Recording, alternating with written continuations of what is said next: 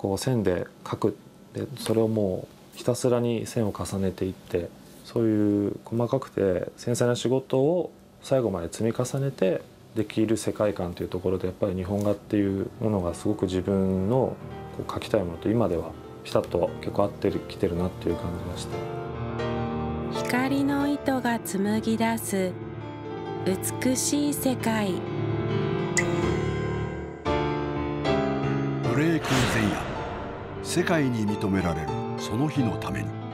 次世代の芸術家たち。本郷美術骨董館の提供でお送りします。今回の次世代芸術家は日本画家小林則之。東京芸術大学で自分のスタイルを模索していた彼に訪れた運命の出会い。大学院1年生の頃だったと思うんですけど現代アートの展示に行きましてそこでこうクモの巣を収集してそれを作品としてる女性の作家さんがいましてこう一つの一本の糸が作り出す世界観というのになんかこうすごく圧倒されたと言いますか。すごくシンプルなものの積み重ねで一つエネルギーを生み出せるんだなっていうのをすごくこう感じたので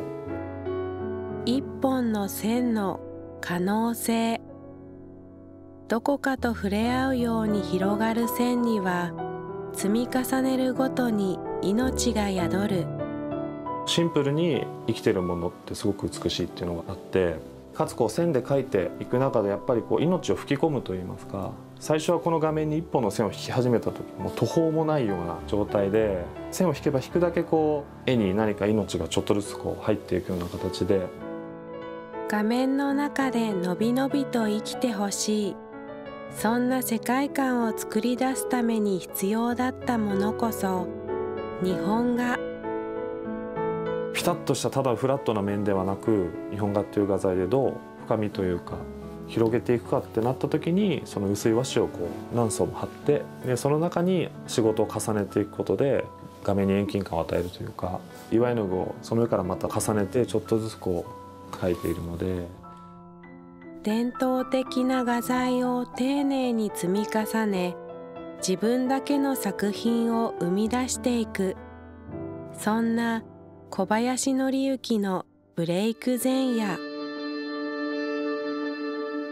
こう日本画っていう技法であったり画材であったりっていう素材の持つ魅力っていうのにもすごくこう感動しているところなのでもっともっと自分も影響を受けて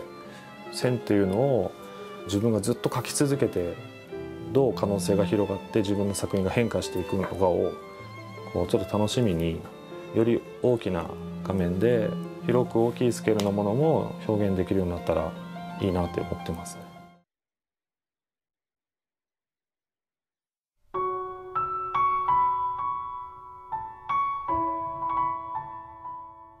美を次の世代へ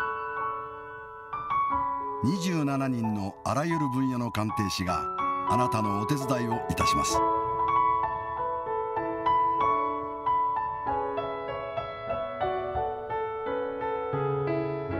東大赤門前本郷美術骨董館。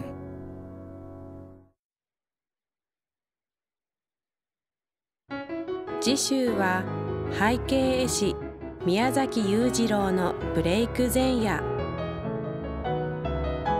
本郷美術骨董館の提供でお送りしました。